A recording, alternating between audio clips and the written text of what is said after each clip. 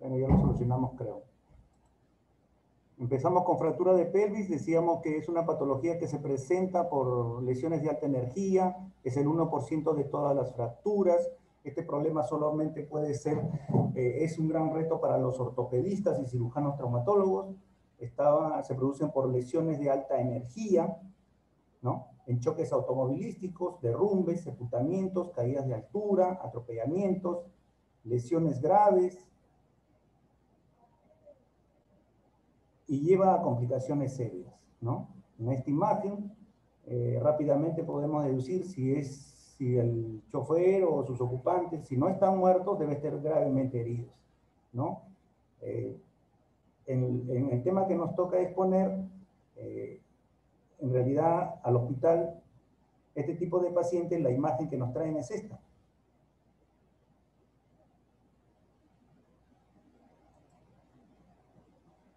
Funciones de la pelvis. Tiene básicamente tres funciones la pelvis. La transmisión de la fuerza desde los miembros inferiores hacia la columna vertebral y viceversa. Segundo, proporciona puntos de anclaje como palancas a músculos necesarios para el mantenimiento de la postura y locomoción. Tercero, proporciona un soporte estable a los órganos vitales internos para protegerlos de los traumatismos directos, ¿no? Como el cráneo, algo así. Un paciente con fractura de pelvis es más o menos este tipo de el espectáculo, un, paciente que se destabiliza rápidamente, vamos a ver este, que la pelvis está rodeado de grandes vasos y rápidamente lleva una hipotensión y, lamentablemente puede fallecer antes de llegar al centro hospitalario. Hay que hacer, eh, hay que hacer transfusiones de cristaloides, coloides, eh, sangre, etc.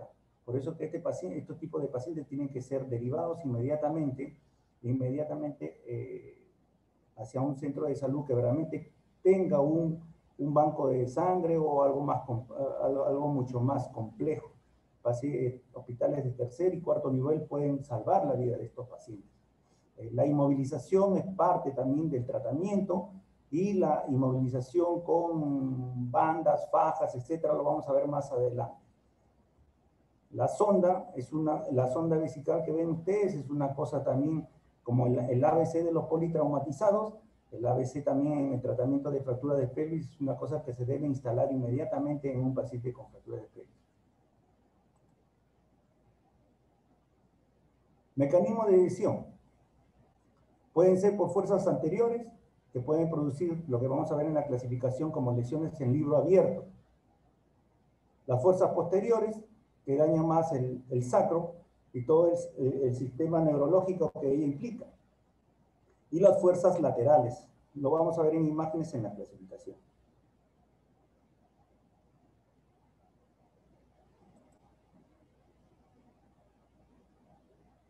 Acá hay una manipulación en el examen clínico que se debe hacer con mucha delicadeza. Llega el paciente, intuimos que este paciente, aparte del traumatismo encefalocraneano, los traumatismos abdominales, etcétera, porque el tratamiento está a cargo de un equipo eh, multidisciplinario ya fue evaluado previamente, previamente, por el emergenciólogo, ¿no?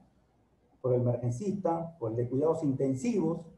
Posteriormente, a la par están el neurocirujano, el cirujano de abdomen y el ortopedista traumatólogo, ¿no? Hacemos algunas maniobras de compresión eh, para ser derivado inmediatamente, debe hacer, pues tiene que ser hecho por el especialista, se hace con mucho cuidado este tipo de maniobras, si sentimos algún crujido o un acortamiento de las piernas, inmediatamente ya estamos pensando que este paciente eh, debe requerir eh, una transfusión sanguínea, hay que tomarle placas radiográficas este, en, en, oblicuos de 45 grados de entrada y de salida, lo vamos a ver siguiente.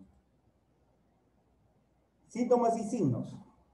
En este tipo de, en este tipo de patologías, lógicamente el dolor es una cosa terrible, que lo va a llevar incluso por semanas y hasta meses el paciente. Hay equimosis, hemos visto, hematomas. Estos hematomas eh, pueden coleccionarse ahí 2 hasta 3 litros de sangre a nivel de la pelvis. Revisar la zona perineal, inestabilidad de la pelvis al tocar, como abriendo y cerrando un libro, ¿no? Vamos a ver las maniobras en, unas figuras posteriormente. Hay que hacer exploración de reto, observar sangrado. Sangrado en el meato urinario es un signo de que existe un desgarro uretral. Se debe colocar una sonda vesical. Evaluación neurológica. Nervio ciático, el, nervio ciático, el nervio femoral, el inguinal, el, el, el génito femoral.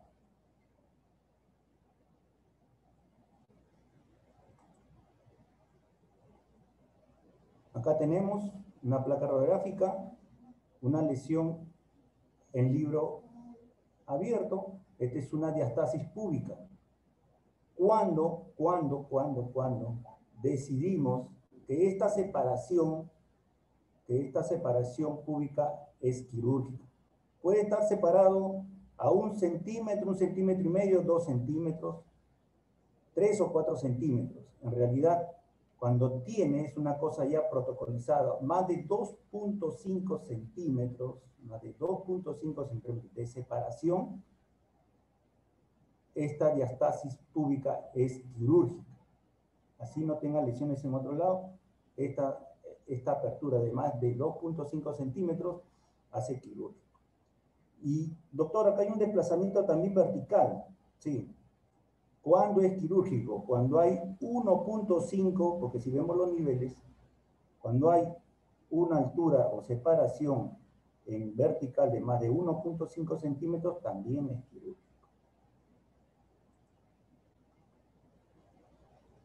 Clasificación de la fractura de pelvis. Hay varios tipos de, clasifica hay varios tipos de clasificaciones. Eh, estas fracturas no afectan este tenemos fracturas que no afectan la integridad del anillo pélvico, ¿no? Ya, ya hay fracturas que sí afectan el anillo pélvico, ¿no? Entonces, ¿y esto por qué es importante? Porque esto hace que se puedan dividir entre, entre fracturas, entre fracturas estables e inestables. Entre las primeras son las estables, y la segunda, la que afecta la integridad del anillo pélvico, entonces lo vuelven inestables, ¿no? Pueden haber fracturas combinadas, combinadas, no solamente fractura del, del, ilíaco, del sacro, puede ser este, fracturas eh, de cadera, fractura de cuello femoral, etc. Con otros, este, con, otros segmentos óseos. Fracturas patológicas, si hubo previamente ya en, en, un paciente de tercera edad con antecedentes sea eh, de próstata o sea de mama, etcétera, tienen ya lesiones en diferentes partes del cuerpo. Pueden ser y las fracturas expuestas, que hacen mucho más complejo el caso.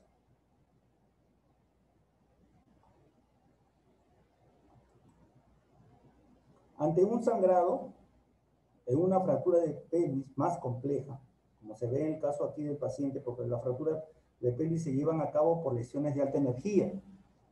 Como se llevan por lesiones de alta energía, el paciente puede estar tequeado. Acá está pasando en un resonador o en un tomógrafo el paciente. Eh, y solamente esos, esos, este, eh, exámenes radiológicos y de apoyo los tenemos en hospitales de cuarto nivel. Y aún así, aquí en el Perú, siendo hospitales de cuarto nivel, o están malogrados, o, o simplemente no hay. A esa es nuestra realidad. Y eh, ¿cómo podemos estabilizar? Si el, el, ¿Cómo podemos ayudar al paciente para poder estabilizar ese sangrado, ¿no? Para poder estabilizar ese sangrado, eh, valga repetir el tema, se tiene que estabilizar la fractura también. Cuando se estabiliza la fractura, deja de sangrar el paciente. Entonces, tenemos este aparato como un fijador externo, eh, un fijador externo. Miren este pacientito, está gordito, ¿sí? Esto no es exagerado, este marco, ¿sí? Esté hecho como para un flaquito, un mediano o un gordito. Entonces, estos dos pines con anestesia local van a pasar directamente hacia la zona posterior del hueso ilíaco. Lógicamente, todo esto ya está estudiado. A ese nivel no hay mayores complicaciones vasculares. Una vez que se sigue, hacemos la compresión posterior, fijamos el, el, el hueso ilíaco, hacia el sacro y automáticamente se cierra el anillo. Podrán haber fisuras minutas, pero eso ayuda bastante en la estabilización de la fractura y el paciente va a comenzar a sangrar menos. ¿no? Radiográficamente, más o menos esto es lo que se observa. Y todo esto es guiado por un, por un sistema de arco en C, un, eh, un tomógrafo, etc.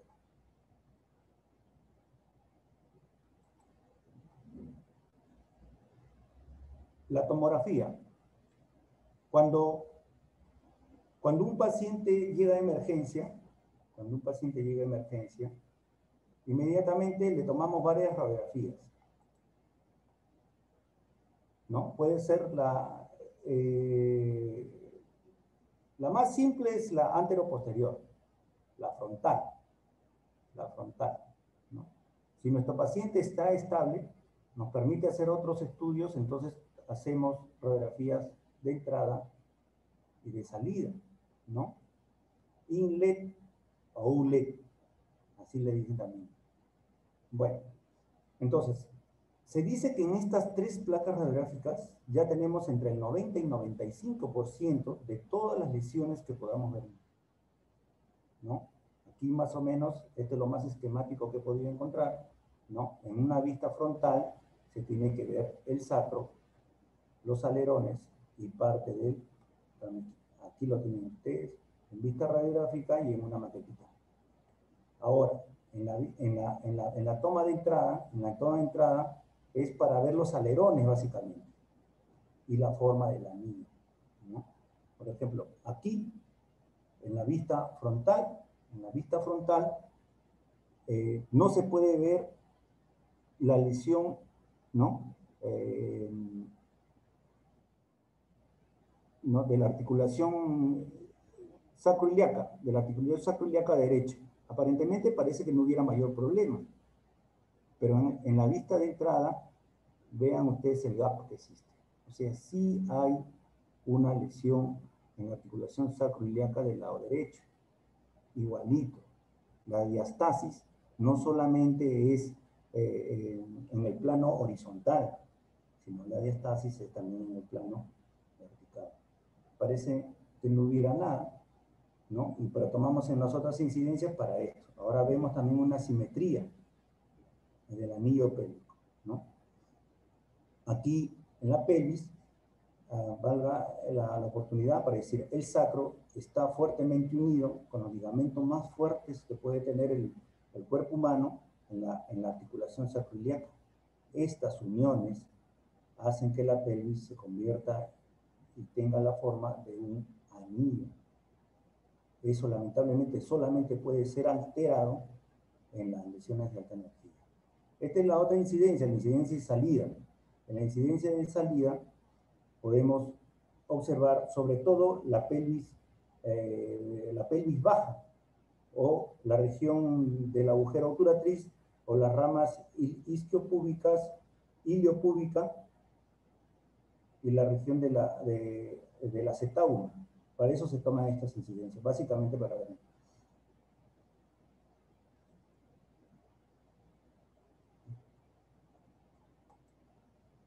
Y si tenemos lesiones del acetábulo y lesiones del sacro, lo más conveniente es todo paciente con fractura de pelvis tiene que tener una tomografía. ¿no? Ahí están. Eh, la tomografía es más ayuda para definir el tratamiento quirúrgico al médico ortopedista. Podemos ver lesiones en sacro, lesiones acetabulares, trauma abdominal, intrapélvicos asociados y el planeamiento preoperatorio.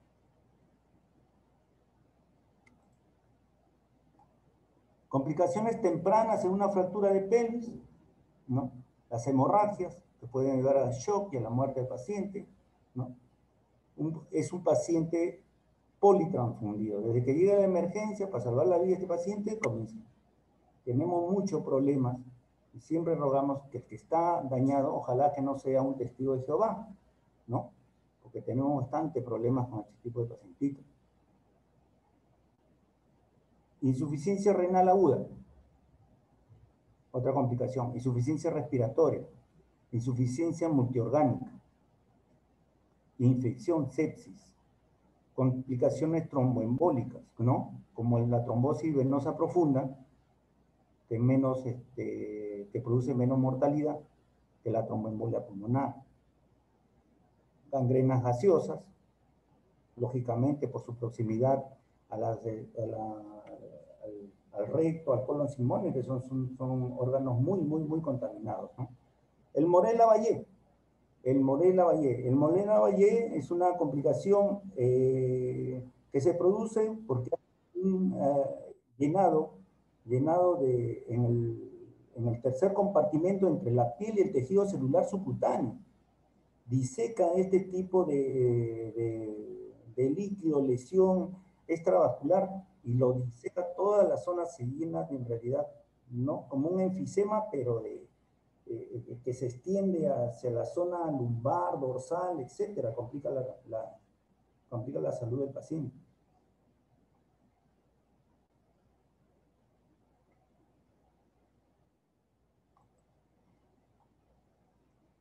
Otras imágenes de la, de la radiografía, de la radiografía que se toma a los pacientes, ¿no? ¿Y qué estructuras anatómicas abarca? La, la radiografía antero-posterior nos da un 90%, un 90%, un 90% de las lesiones que se ha producido a nivel de la pelvis. La entrada y la salida suben, suben esta, hasta un 95% ¿no? en la ayuda diagnóstica del paciente.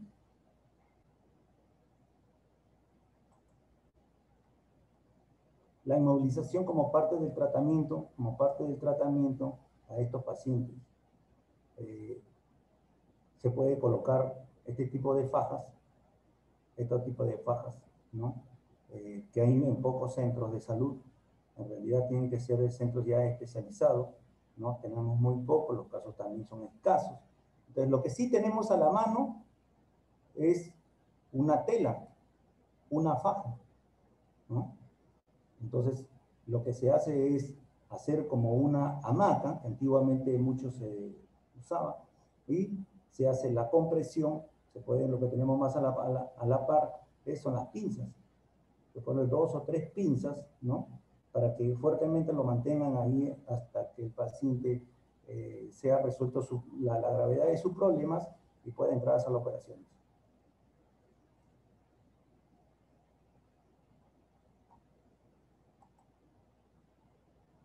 Vimos eh, complicaciones tempranas, estas son las complicaciones tardías entre las complicaciones tardías tenemos dolor neurológico, ¿no? Que puede ser hasta persistente. Al empezar las clases le dije que este dolor incluso puede, aparentemente parece que lo van a, perder después de la cirugía, pero no es así. Hay dolores neuropáticos que lo pueden estar hasta por meses. Y pueden terminar estos pacientes hasta en, terapia de dolor por ese tema. Pseudoartrosis, que es la no unión de algunos, eh, eh, a veces el traumatismo encefalocardiano es tan grave y tan comprometedor del, estado del paciente que las cirugías, eh, mayores cirugías en realidad van a poner más en riesgo. Entonces estos pacientes son derivados para tres, cuatro semanas después de ser intervenidos. Los resultados no son los mismos. Terminan como una, no unión del sacro, no unión de la, del alerón pélvico. discrepancias puede haber del, del mismo por lo mismo. Estos pacientes no llegan a ser intervenidos son tratados con, con contracción cutánea, fijadores externos, y ahí, y ahí queda la cosa. Porque el paciente también hizo una insuficiencia renal. Entonces, eso hace que el paciente no sea, no sea candidato para que entre a sala de operaciones. Es preferible que quede con una pierna más corta a que pierda la vida. ¿no? Secuelas de escoliosis. Secuelas de escoliosis por lo mismo, tener una pierna más larga que la otra, el paciente, o porque han tenido también fracturas del cuerpo vertebral concomitante que simplemente se van a tratar como está en reposo, se le pone simplemente un corsé en ese momento. Pacientes posoperados, las complicaciones pueden hacer miocitis, calcificación de los músculos, ¿no? O miocitis osificante.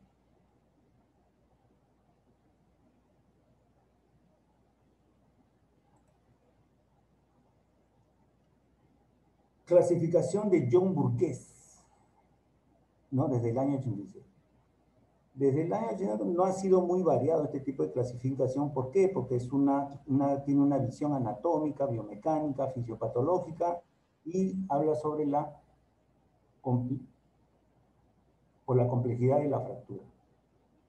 La fractura tipo A no está comprometido, en la fractura tipo A no está comprometido el anillo pelviano, ¿no?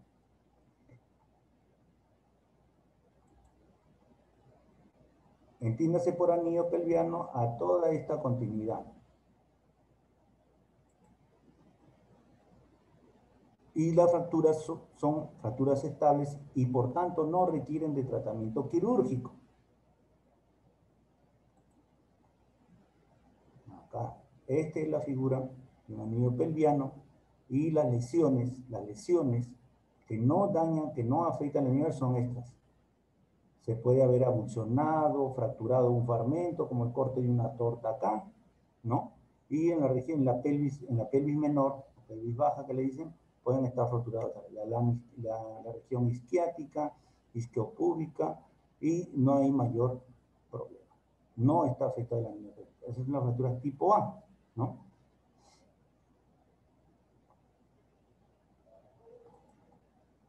La fractura tipo B, Interrupción parcial del anillo pelviano, ¿no? A nivel posterior, ¿no? Tratamiento tratamiento quirúrgico sí, sí, estabilizando la región anterior.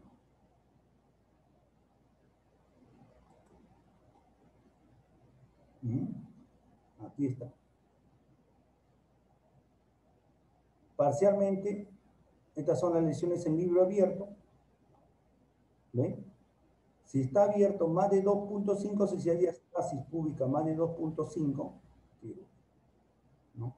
Menos de eso, tratamiento ortopédico.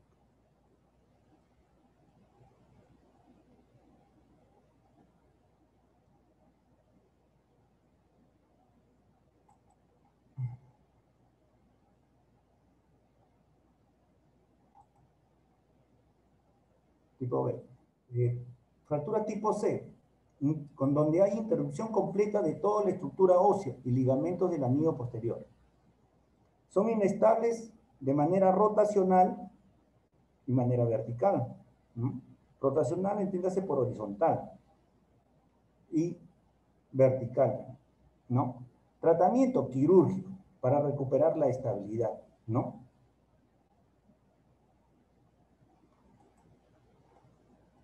Son de este tipo lesiones, fracturas a nivel del sacro y en la región anterior. Hay que hacer la, estabilidad, la estabilización posterior y estabilización anterior. ¿Mm? Este es en vertical, una estabilidad vertical y una inestabilidad horizontal.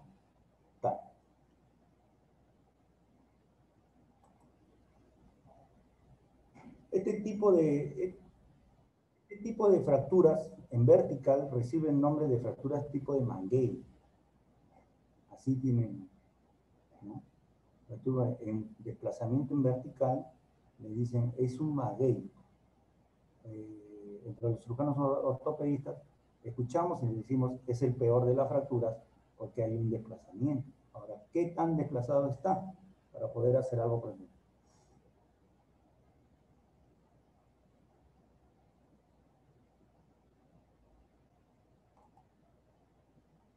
Fractura de pelvis Tipo A, A1 es una abulsión, donde se rompe parcialmente un pedacito de hueso. A2, el ala ilíaca sin compromiso de la línea innominada, ¿no? y de la rama ilioisquiopúbica. A3, luxación del coxis, fracturas transversas del sacro distal. Tipo A.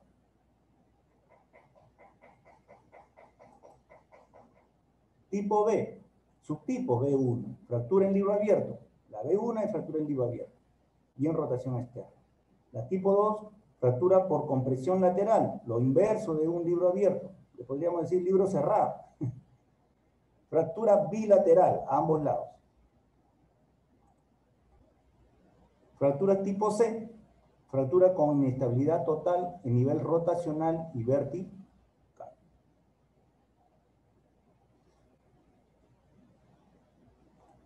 Volvemos a repasar. Fracturas tipo A no, no, no, no, no comprometen el anillo pélvico. Fracturas tipo B, diastasis anterior, desplazamiento solamente horizontal. O rotacional horizontal. ¿Ok?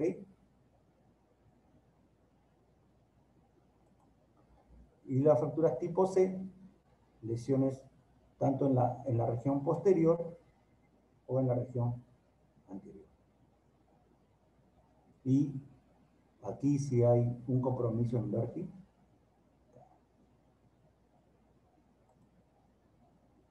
Crema de más o menos para tener idea, en la radiografía, lo, la línea la línea que se traza, que es continua, esta línea continua, es, es la pared anterior del acetábulo. Y la que está en las líneas así interrumpidas es la ceja posterior de la articulación coxofemoral. ¿No? En el tratamiento, le dijimos, eh, cuando es muy compleja, la fractura no da tiempo para, para atender este, primariamente una cirugía de 3-4 horas, pero debemos estabilizar la pelvis, ¿no? Es urgente para detener el, sangrado de la, hemorragia eh, que se ha detectado en el paciente. Entonces, podemos hacer uso de este tipo de fijadores externos. Miren ustedes la figura, si ustedes se palpan, ¿no? A nivel de sus crestas ilíacas, ahí, en un ángulo más o menos de 45 grados, y si tienes arco en en tu hospital, si no, la idea es estabilizar. Ingresamos con dos pines, no es porque se le ocurra al doctor Guamán, al doctor Prado, no, está estabilizado. Son dos pines en el, en alerón del lado derecho y dos pines en el, lado izquierdo. Todos más o menos están así eh, preparados para hacer este tipo. Y si no lo tienes, lo puedes hacer de manera artesanal, ¿no? De manera artesanal. ¿Cómo de manera? Pero acá hay unos daditos, doctor. Sí, pues, pero no siempre hay estos daditos. Entonces, ¿cómo, ¿cómo se hace? Se colocan dos barritas de aluminio, como ven acá, los pines sí tienen que ser roscados, esto es lo mínimo que debe tener pues, el hospital. Pero de aquí se traza, se traza, se traza dos marcos de aluminio y se coloca un yeso, perdón, un cemento de acrílico, eso que utilizan los odontólogos.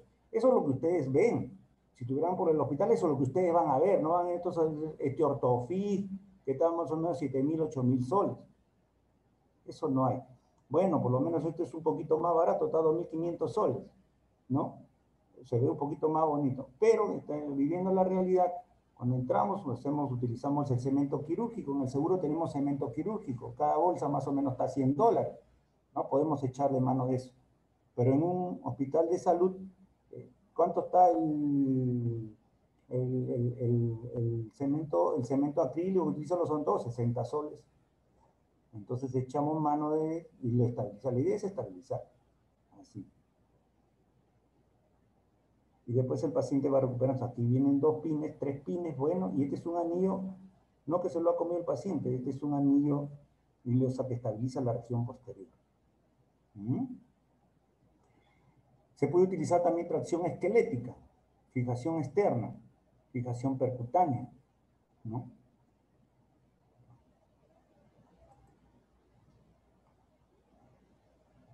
Una fractura de pelvis, lesión del, alerón ilíaco, y tenemos una fractura de toda, de toda, de toda la articulación.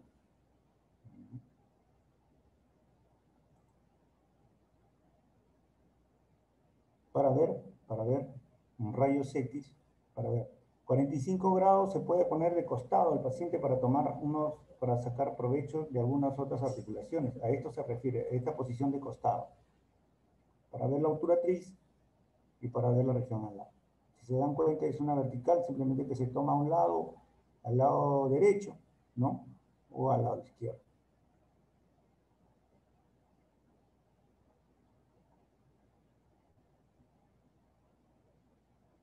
Para tener la vista de estas imágenes. A eso se refiere, 45 grados elevando el lado afectado para ver la columna anterior y la pared posterior. el lado afectado para ver la columna anterior y la pared posterior.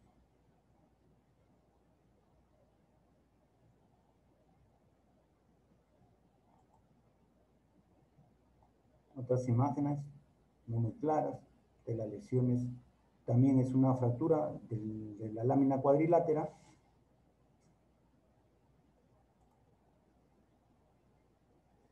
Tratamientos. Depende del tipo de fractura, ¿no? Ortopédicos, con yeso, camadura, diastasis púbica. Cuando hay diastasis púbica se, hace el uso de la maca, ¿no? Y se dice que se usa más o menos eh, el anillo pelviano de 28 de, 8 centímetros por 28 centímetros en dos poleras. Esto está en el ramos verdes, ¿no? con 5 kilogramos de peso a cada lado. Vamos a ver unas imágenes.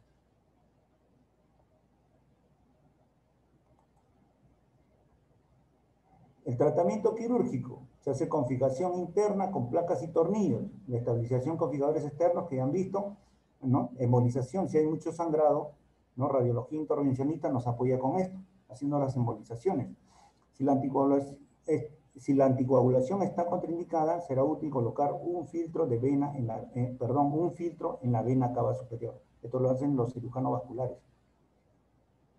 Radiología intervencionista, cirugía vascular, como les digo, eh, tiene que ser un, en un centro de cuarto nivel. Aquí tenemos unas imágenes. Ah, esto es la placa y tornillos, ¿no? Habían unas imágenes que en radiográfico ustedes veían cómo pasaban esto, ¿no?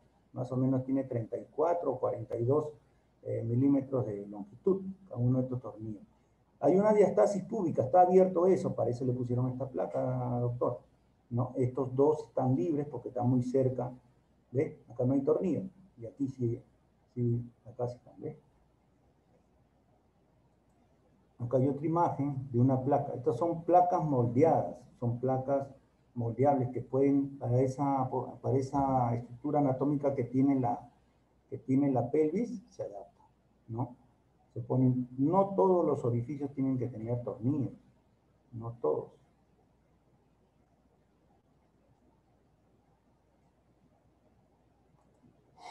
El uso de la tomografía, se fracturó en la, ¿qué tan? Ahora, eh, esto, por ejemplo, quiero que lo recuerden, ¿no? Esta es la, la cabeza femoral y cuando está luxado solamente, pensamos que solamente está luxado. Es irreductible, no se puede reducir, ¿no? Entonces, ¿por qué? Porque hay un fragmento intraarticular. No se puede reducir una fractura de cadera muchas veces, porque este fragmento óseo está metido en la cavidad articular. ¿Ok? Entonces, esto quiero que lo recuerden cuando hagamos, cuando hagamos luxaciones de cadera en la siguiente clase. Seguimos con otras vistas en tomografía. Este es un corte coronal.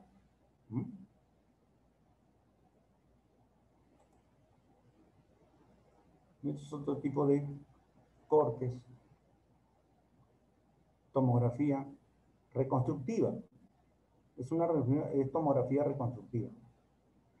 Tenemos todas las imágenes que quieran. Sacan la cabeza humeral y solamente se ve el acetábulo. Miren ustedes.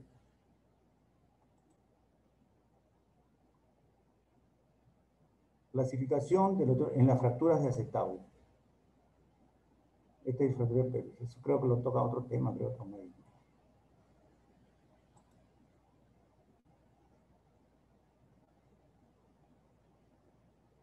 Indicaciones para tratamiento cancerígeno. Fractura de menos de 2 milímetros de desplazamiento. Referir la carga o tracción esquelética. 4 8 semanas. ¿No? Congruencia secundaria. Le decimos cuando hay mucho compromiso del paciente, no es quirúrgico y tenemos que llevarlo, colocamos tracción esquelética, etcétera, ¿no? Un paciente que puede tener algún problema eh, tromboembólico, etcétera, ya definitivamente no, no, no, no, no, no hacemos cirugía, ¿no?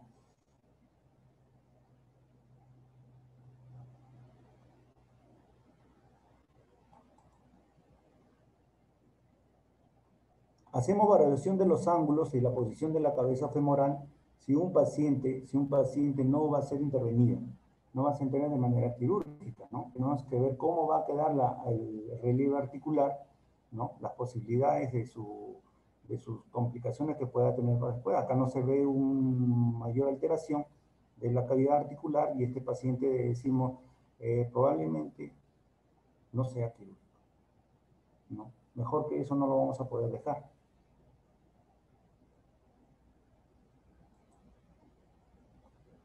Abordajes quirúrgicos, ¿no? Puede ser el hilio femoral. Esquemáticamente aquí se ve eh, cómo podemos, este, qué estructuras anatómicas podemos abarcar. Estas son incisiones quirúrgicas ya propias de la especialidad o vía anterior.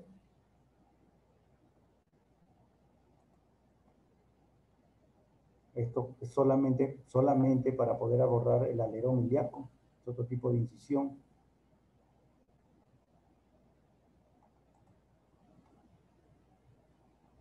¿Mm? El, lado interno del, del alerón del hueso ilíaco.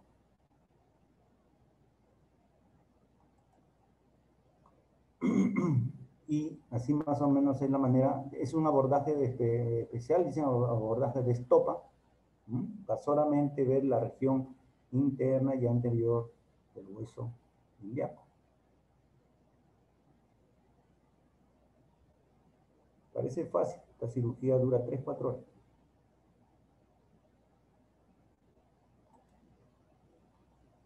Este es otro tipo de, incisión que se conoce con el nombre de Kocher-Langerberg.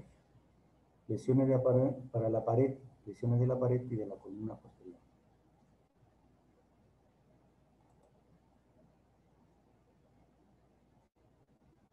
Reducciones que se pueden optar. Este es un tornillo tractor grueso y acá tiene como una armellita, como una armellita, como un anillito pasa percutáneamente la piel y se pone un peso de más o menos 5, 6, 7 kilos.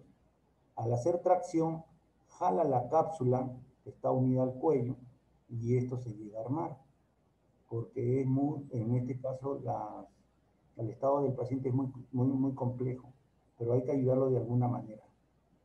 ¿no? Y se puede solamente con hacer la tracción esquelética ¿no? en esta línea eh, axial hacia el a través del cuello hacia la cabeza y se pone un peso. Al traccionar se arma, se arma, se acomodan todos los huesitos. ¿no? Toman una radiografía de control y dicen, bastante bien, puede quedar ahí. Y esto es otro instrumental que se utiliza en las cirugías de pelvis.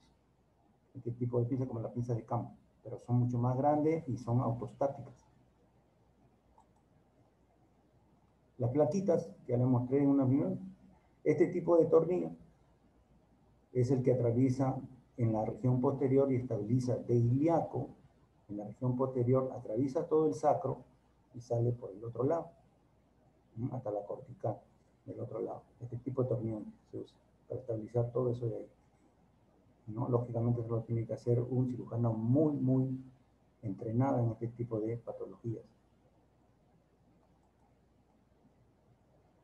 El posoperatorio con drenajes y succión por 48 horas, uso de repente de una de indometacina, terapias anticoagulantes, se tiene que diferir el apoyo 6 a 8 semanas, ¿no? El apoyo parcial, por cuatro depende del, tipo de lesión que haya tenido el paciente, ¿no?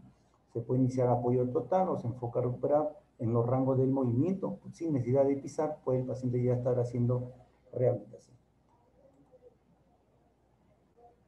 Las complicaciones, lo vamos a repetir, las enfermedades tromboembólicas, ¿no? Infecciones, problemas de la herida quirúrgica, puede haber quedado muy bonito el hueso, bien armado, pero empieza, como hubo una cirugía de 4, 5, 6 horas, a cielo abierto, comienza el, fantasma de la, de la, infección. Los germes se han ingresado, ¿no? Y otro problema más hace el paciente. Ojo, que le, que le hemos puesto cuerpo extraño, placas y tornillos es muy preocupante para el cirujano esta situación. Lesiones nerviosas, lesiones en el ciático, en 30% de la fractura, más o menos hablan las estadísticas, osificaciones heterotópicas y condrolisis.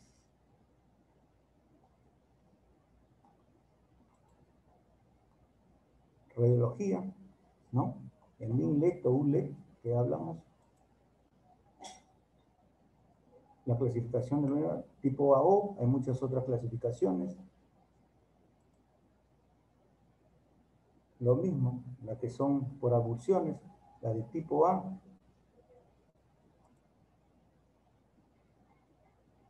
Esta es, la clasificación es AO, la escuela AO. La de MADE, en vertical. A, B, C. Más resumido. Tenemos una fractura de pelvis, como los, los los ortopedistas, y terminamos así. ¿No? Esto todo lo que es la línea, ¿no? La línea nominal, la línea ilopúbica. Tenemos la ceja posterior, ¿no? Y esto está estabilizando el techo.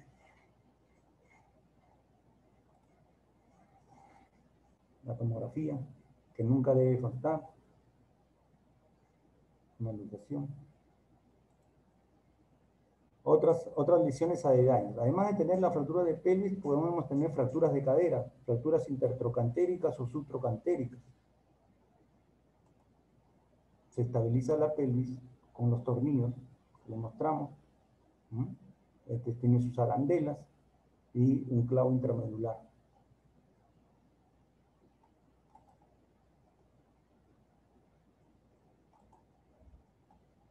Otro tipo de estabilización. Estabilización posterior y estabilización anterior.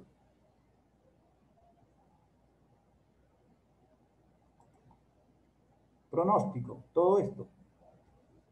Si tienen un paciente así bien resumido, si un paciente tiene fractura tipo A, el pronóstico es bueno. Ya saben ustedes que es por abducción y no afecta la niña. Una fractura tipo B, variable, dependiendo, ¿no? Y una, una fractura tipo C, el diagnóstico es totalmente reservado.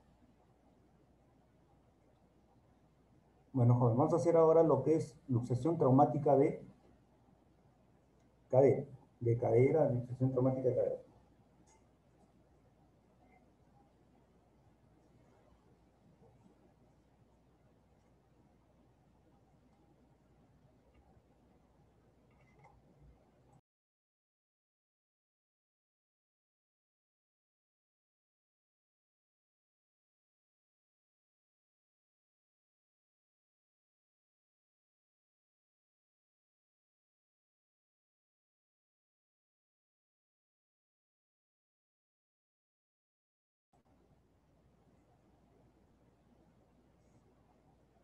A ver, el, segundo tema de luxación es traumática de cadera. Este tipo de luxación en realidad es una emergencia ortopédica, ¿no? Está asociada a los politraumatismos. Hay una posible lesión del nervio ciático si la luxación es posterior. Y cuanto mayor tiempo se deje luxado la cadera, va a tener una mayor complicación, como es la necrosis avascular de la cabeza femoral y la artritis postraumática un dibujito teníamos que lo vamos a usar acá. Ahí está. ¿Cómo mayormente se lleva a cabo una luxación de En este tipo. una de las más frecuentes es ir de, pasajero, ¿no? En los micros, en los combis, pero en el copiloto, o de pasajero, ¿no? Golpea la rodilla, en la guantera, etcétera, y la cadera se lucha. Otro es ir en moto, ¿no? Chocan contra el, auto o contra una baranda que hay ahí y el, mismo motociclista o el acompañante y se produce la luxación anterior.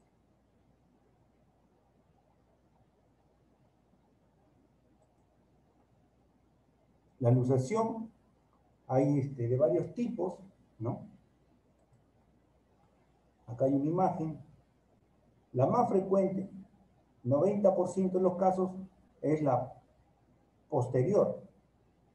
Ahora lo han dividido en cuatro. Bueno, la posterior o la superior o la ilíaca es la más frecuente, ¿no?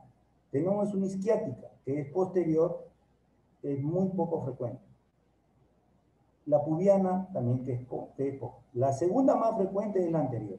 Han visto las dos imágenes anteriores, les acabo de mostrar. La, el 90% es posterior superior. y la que le sigue en frecuencia la anterior, ¿no? O la obturatriz también le dice.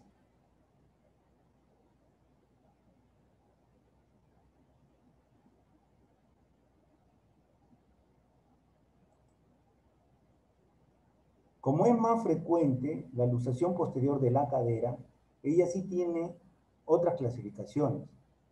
La luxación posterior tipo 1, solo hay luxación. En la tipo 2, es luxación fractura de acetábulo. La fractura tipo 3 es luxación más ceja con minuto, la ceja posterior de la articulación con minuto. La 4 es luxación más techo acetabular, la fractura más grande, o sea, más compleja, ¿no? Y la tipo 5 es luxación más rotura de la cabeza femoral, o sea, ya nos pasamos, ya nos hemos salido ya de lo, que es pelvis, porque todo esto era pelvis, todo esto era pelvis, y ya estamos agarrando otro huesito que es el femoral. Acá no tocaba solo luxación, partes blandas, ¿no? Acá está la pelvis, 2, 3 y 4, la, la parte de la pelvis, y este de acá se salió de la pelvis.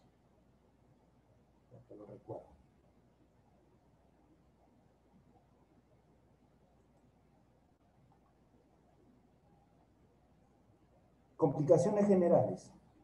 Rotura del ligamento redondo, ¿no? Y lesiones de los vasos circunflejos. Bueno, ¿qué tiene que ver el ligamento redondo? Por ahí también recibe nutrición la cabecita femoral, ¿no? Se dañan los dos sitios por donde recibía, recibía nutrición, entonces la cabecita femoral se va a morir.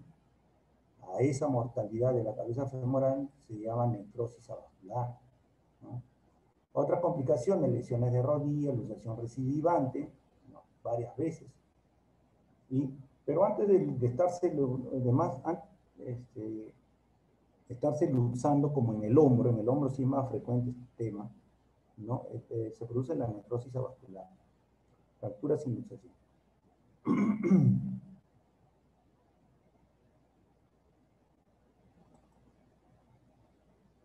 Complicaciones de las luxaciones anteriores. Ojo, ¿eh? ojo, anterior.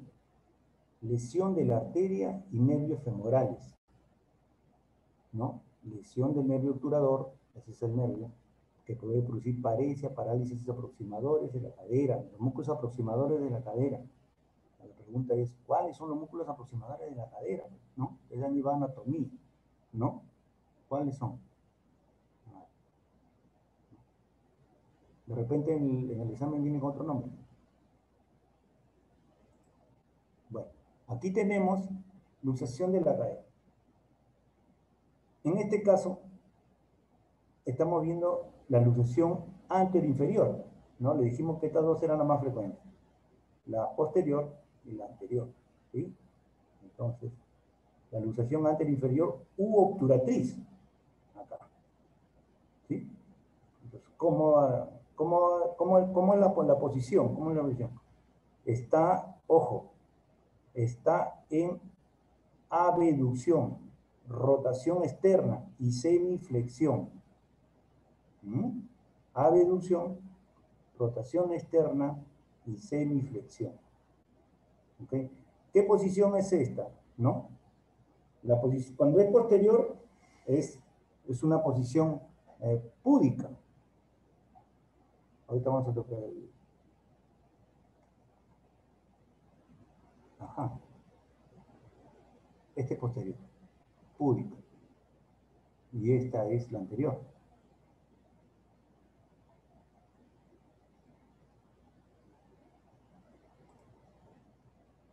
Anterior ultraterrestre. ¿sí?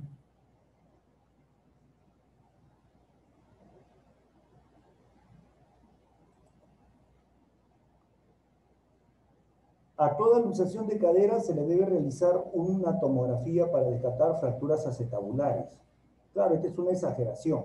Lo que querían que recordaran eran, ¿se acuerdan ese fragmento chiquitito que estaba dentro de la, eso, eso, estas puntitas, la ceja, de la ceja posterior, se puede romper y se puede meter. Entonces, en una pequeña separación, ah, no se preocupe, dice, eso va a pasar. Y el tema es quirúrgico. Cuando aparece pequeño fracción dentro de la cavidad articular, es quirúrgico. Este es en la posterior ahora.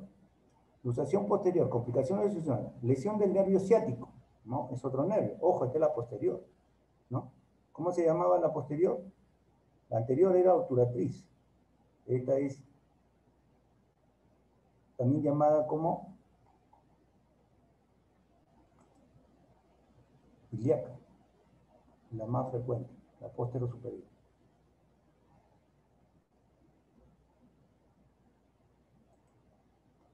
lesión del nervio ciático.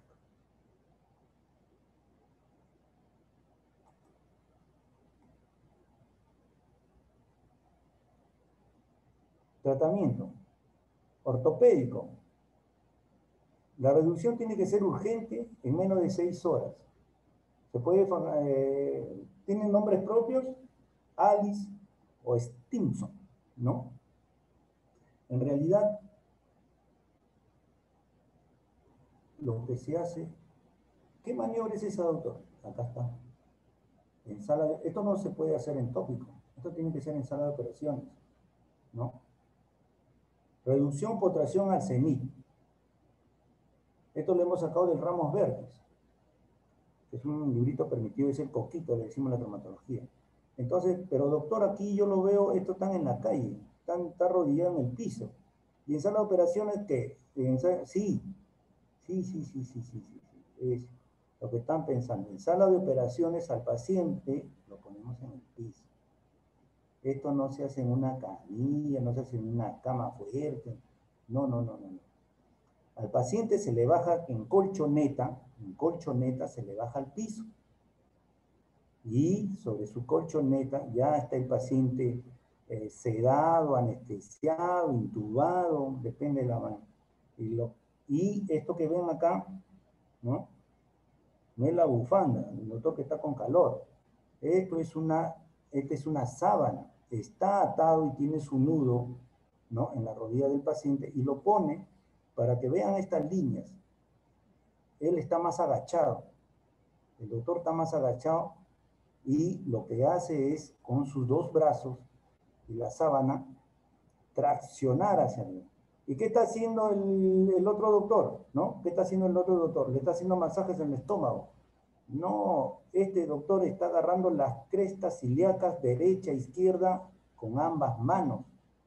Lo está, lo está eh, eh, eh, posicionando contra el piso para que, no para que cuando levante el doctor, no, por, lo, por, lo, general lo ponemos al más fuerte ahí, al médico, al médico residente, están 24 en, la flor de la vida están ellos, con toda su fuerza jala, al traccionar, ¿no? Entonces, esta es la luxación, doctor, esta es la luxación posterior. Claro, esta es la luxación posterior, ¿no? Y la luxación anterior es tracción, acá dice al cenit, es hacia arriba, hacia el cielo. Y la, y la, otra luxación, doctor Landria, es traccionas así, en horizontal, en esta dirección, ¿ok? Pero igual, tiene que ser con anestesia. Y aún así reduciendo, tomas la radiografía y de repente encuentras este fragmento. No lo viste. Bueno, pues, no lo viste. Entonces es quirúrgico y se soluciona colocando un pequeño tornillo. ¿Ve? ¿No? Luxación, una fractura posterior en la cabeza, este es chiquitito, no se ve a veces. Y no queda, pero está bien, yo sentí, redujo, doctor, pues, y este fragmento ahora igualito se tiene que operar. ¿no? Esta es la misma posición aducta, actitud púdica, ¿no? En las luxaciones posteriores. Y la impúdica, que es la otra, es la anterior. ¿Sí? ¿Se acordará? Creo que se marean. Vamos a más. ¿No? La luxación posterior, luxación ilíaca, la más frecuente, ¿no? Actitud púdica. ¿No? La que le sigue en frecuencias, la luxación anterior, obturatriz, ¿no? Impúdica. Negociación,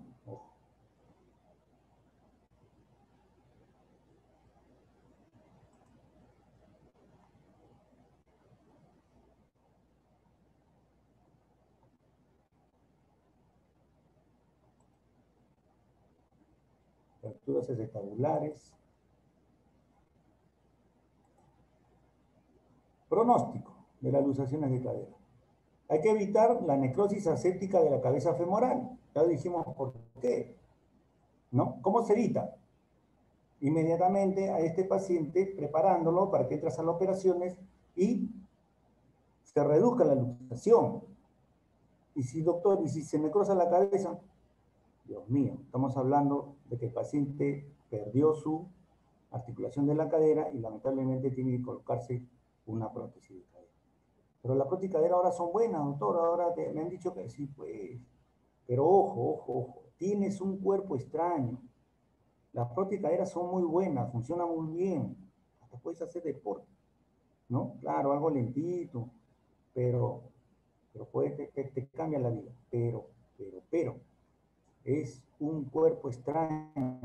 Y cuando tienes un cuerpo extraño, un metal adentro, ya puede ser que se te pueda infectar.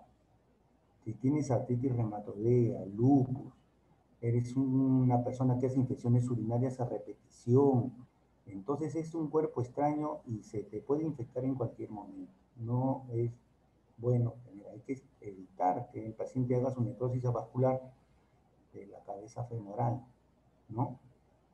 Evitar las calcificaciones heterotópicas. Esto está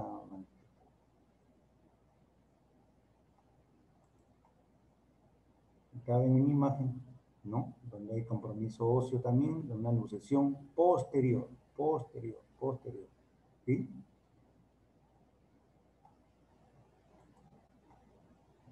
Otros factores que favorecen que haya una necrosis avascular de cabeza femoral. ¿Qué cosas, otras cosas que favorecen? La edad del paciente, ¿no? Más viejitos, pero la gravedad del trauma, ojo, fue una impactación en una lesión de alta energía. Claro, se rompió, placa, todo voló. Por más que lo reduzca, lamentablemente ya no va a eso. Y la duración del tiempo de luxación, ¿no? El paciente llega a 5 de la mañana, ya me voy a las 8, ya, ya viene el cambio, ya, pues, ¿para qué? 5 de la mañana, está 24 horas, lo dejas ahí al pacientito, ya, mi compañero va a venir a las 8, ya pasaron 3 horas. Llega tu amigo, tu, colega llega de, de reemplazo, de 8 a 9, bueno, yo siempre soy religioso en eso, tengo que tomar mi desayuno, ya a las 9 estás estirando los brazos, ya pasaron 4 horas. Vamos a hacer los trámites, vamos a ver en sala de operaciones. Vas a sala de operaciones, doctor, lo de cirugía, dice que tienen un paciente eh, que está crítico, un apéndice, que una señora está sangrando, que nosotros somos el cuarto turno. ¿Y cuándo es el cuarto turno? A las 12, una de la tarde. Cuando llegaste a las 8 eran 3 horas. A las 1, 2 de la tarde son 5 horas más. Ya son 8 horas. Son ocho horas más.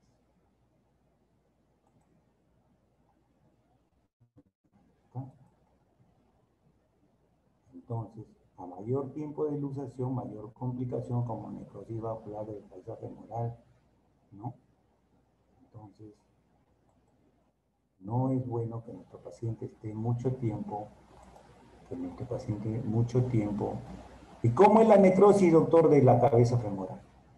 Si la cabeza femoral, así se comienza, este se comienza a, poner de color blanco, blanco, oh, más calcificación, no, como ya está muerto se pone duro y esto después comienza a aplastarse, así, en forma de un corte de torta. Así es la necrosis vascular y eso no es bueno, ya está perdiendo su vida. Después esto colapsa, y todo esto colapsa, ¿no? Todo está bonito el corazón. Y dice, hace un año, ¿no? Hace un año yo me accidenté, llegué al hospital. ¿Y cuánto tiempo después? Mm, lo redujeron, doctor, al día siguiente. Dios, Dios mío. Ah, ya, nada más quería saber. Y te dan la razón por la cual se dice, no, yo llegué inmediatamente, el doctor me atendió, me subió a sala, yo vi que peleaba con todo el mundo. Decía, no, Ah, corrección. Y ahora su cadera está muy bien, doctor. Bueno, ese quedó muy bien.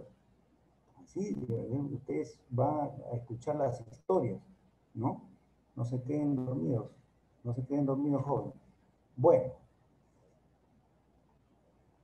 Aquí hemos terminado y de aquí nos estamos viendo hasta el día martes. Jóvenes, terminamos la clase. ¿ya? Y les deseo suerte. No solamente tienen las preguntas de lo que le he pasado aquí en la, en pantallita, mucho de lo que he hablado están en su pregunta de examen. Bueno, jóvenes, hasta el día martes.